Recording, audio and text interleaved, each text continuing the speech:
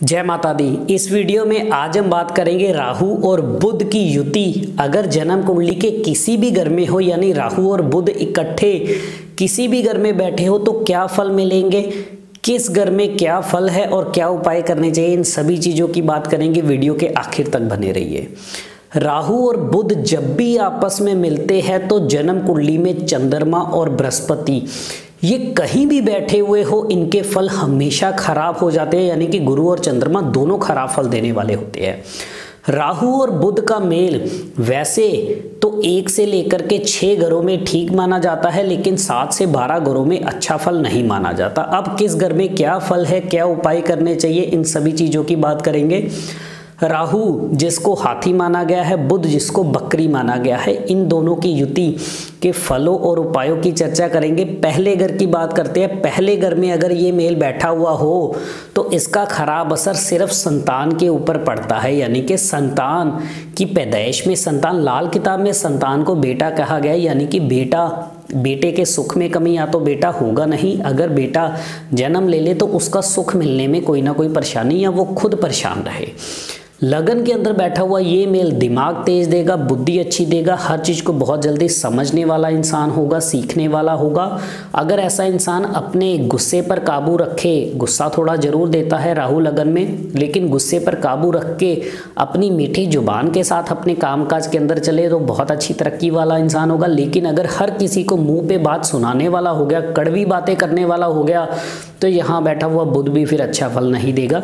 शराब मास से परहेज रखना ज़रूरी होगा। दूसरे घर की फल की बात करते हैं। दूसरे घर में भी ये दोनों इकट्ठे ठीक माने गए हैं। मंदिर का घर है, दूसरा घर धर्म स्थान का है।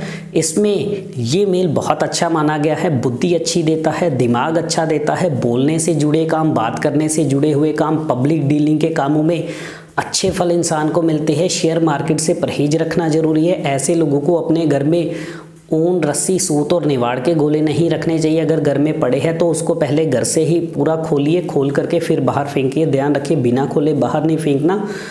लाल किताब के अनुसार इन गोलों के अंदर हमारा भाग्य लिपटा है तो घर में ही पहले उसको जब खोलोगे तो भाग्य एक तरह से आपका खुला, खुलेगा और फिर उसको बाहर फेंकना ज़रूरी होगा।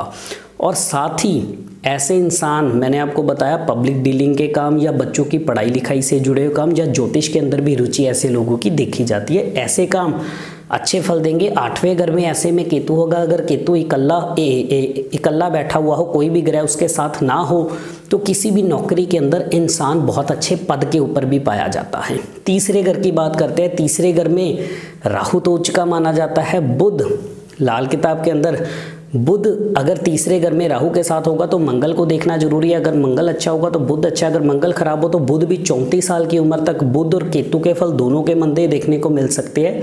चौंतीस साल की उम्र तक कामकाज को लेकर के या संतान को लेकर थोड़ी परेशानी आ सकती है। लेकिन अगर मंगल अच्छा हो, राहु बुध का मेल तीसरे घर का हो तो इंसान बहुत तेज दिमाग वाला होगा। किसी भी कंपनी के अंदर अगर जॉब करने वाला होगा तो उस कंपनी को अच्छे अच्छे आइडियाज़ दे करके उस कंपनी को बहुत अच्छी पोजीशन पर लेकर के जाने की हिम्मत रखने वाला होगा। और खुद भी अगर बिज़नेस करे, खुद के बिज़नेस के अंदर बहुत अच्छी तरक्की पाएगा। आइडियाज़, प्लानिंग, कैसे बिज़नेस को बढ़ाना है और उनको कैसे इम्प्लीमेंट करके अपने बिज़नेस को आगे लेके जाना हो, ये सारी बुद्धि इंसान के अंदर होगी। चौथे घर की बात करता हूँ। चौथे घर में अगर ये मेल हो और बुद्ध चौथे घर में बैठ कर के जब चंद्रमा को थोड़ा कमज़ोर करता है तो ये मन की हिम्मत को कमज़ोर करता है। अगर कहीं बुध खराब अवस्था में हो गया तो फिर ये डिप्रेशन और आत्महत्या तक भी करवा देता है। ऐसे में चौथे घर में ये मेल हो, दिमाग, बुद्धि, सब कुछ अच्छा देता है, अच्छी सोच, समझ शार्प माइंडेड सब कुछ बनाता है। पढ़ाई लिखाई के योग भी अच्छे देता है टेक्निकल कामों के अंदर इंसान अच्छा कर सकता है। टेक्नोलॉजी के काम हो गए कंप्यूटर फ़ील्ड से जुड़े हुए आईटी सॉफ्टवेयर या हार्डवेयर से जुड़े हुए कामों के अंदर इंसान अच्छा करता है। ऐसे लोगों को क्या उपाय करना चाहिए? शमशान घाट का पानी कांच की बोतल में भर करके उसको घर में ज़रूर स्थापित कीजिए और तांबे का छेद वाला पैसा चांदी की चेन में डाल के गले में पहनिए। पाँचवें घर में बैठा हुआ ये मेल बृहस्पति के फलों को तो ज़रूर खराब करता है, लेकिन बुध के फल फिर भी ठीक रहते हैं। ऐसे में तांबे का छेद वाला पैसा गले में पहनना बहुत ज़रूरी है। पिता और पढ़ाई के सुखों के लिए अगर पढ़ाई के अंदर दिक्कतें हैं या पिता को जीवन में सेहत और काम धंधे की तकलीफें तो तांबे का छेद वाला पैसा गले में पहनिए और साठ ग्राम चांदी का ठोस आती स्टील या चांदी की कटोरी में गंगा जल में डिबो करके उसको सोने वाले कमरे में रखिए। अच्छे फल ज़रूर मिलेंगे, पढ़ाई और पिता को फ़ायदा होगा और आगे जाके संतान सुख भी मिलेगा। छठे घर में ये मेल अच्छा माना गया है, दोनों उच्च के माने गए हैं। अच्छा रुपया, पैसा, सुख, समृद्धि अच्छी देने वाले होते हैं। इंसान अपनी बुद्धि तेज दिमाग से अपने बिज़नेस को आगे बढ़ाता है और बहुत अच्छा पैसा कमाने वाला होता है। बेटे के सुख मिलते हैं, बेटा होने के बाद जीवन में तरक्की भी खूब मिलती है।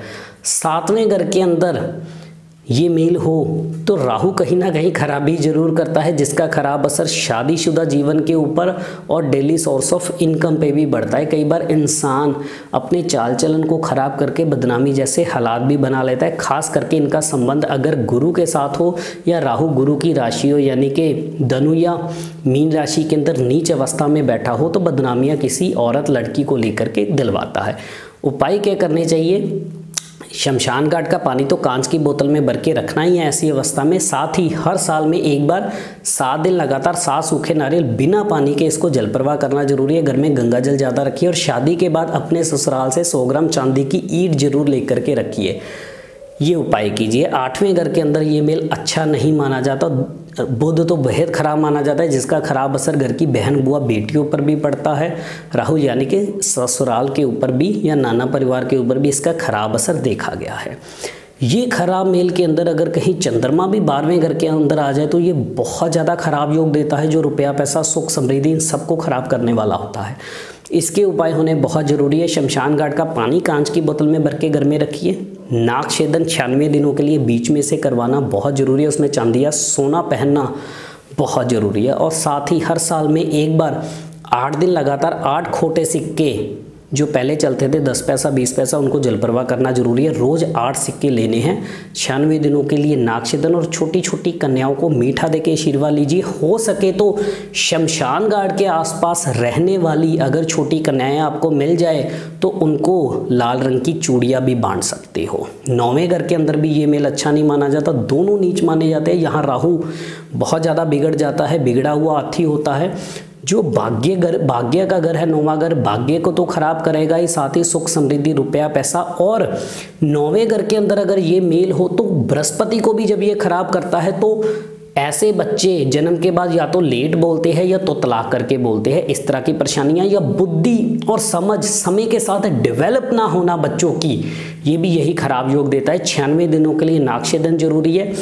तरतालीस दिन लगातार मिट्टी के लोटे में मशरूम भर के मिट्टी का ढक्कन लगा के मंदिर में दीजिए। अगर बुद्धि को लेके दिक्कतें है या भाग्य बिल्कुल साथ नहीं दे रहा या बिज़नेस पूरी तरह से ठप है तो तरतालीस दिन ये मिट्टी के लोटे वाला उपाय करना ज़रूरी है। नाक्षेदन ज़रूरी है।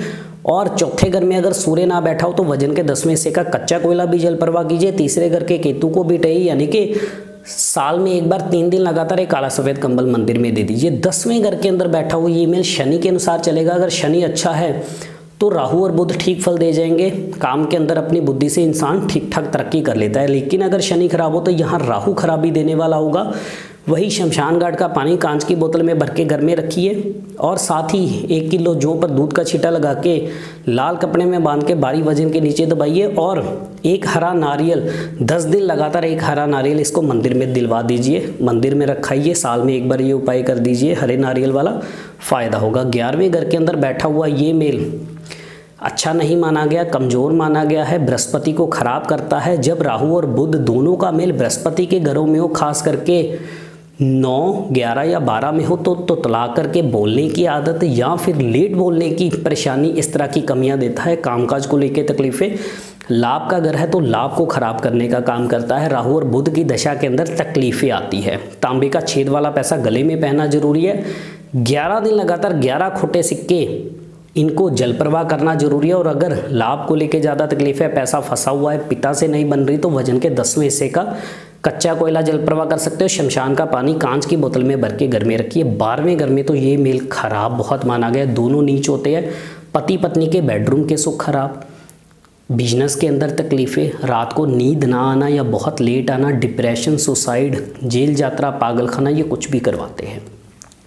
छियानवे दिनों के लिए नाक्षेदन ज़रूरी होगा। शमशान घाट का पानी कांच की बोतल में भर के घर में रखना ज़रूरी है। राहु बुद्ध की युति के अंदर और साथ ही सत्ताईस दिन लगातार एक खाली मटका, डक्का लगा करके जल प्रवाह कीजिए और एक स्टील का छल्ला बिना जोड़ वाला अपनी सबसे बड़ी उंगली में पहनिए और साथ ही राहु के लिए वज़न के दसवें हिस्से का कच्चा कोयला जरपलवा कीजिए। समय समय पर हाथी को मूलियाँ खिलाते रहिए, लाभ होगा। सिर्फ़ ये उपाय कीजिए, राहु और बुध की युति से बचा जा सकता है। जिन घरों में ये अच्छी मानी गई है, वो भी बताइए। जिन घरों में खराब मानी गई है, वो भी बताइए। उपाय भी दी है। जिन घरों में भी आपकी युति हो, आँखें बंद करके ये उपाय कर सकते हो। परेशानियाँ ज़रूर दूर होगी। इसी तरह से हम और भी विषयों पे जुड़े रहेंगे। इजाज़त दीजिए। जय माता दी।